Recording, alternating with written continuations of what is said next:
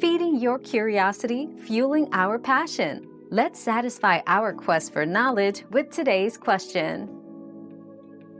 Swelling in the feet during the third trimester is common but can be a sign of concern if it's sudden, severe, or accompanied by other symptoms like elevated blood pressure, headaches, or vision changes.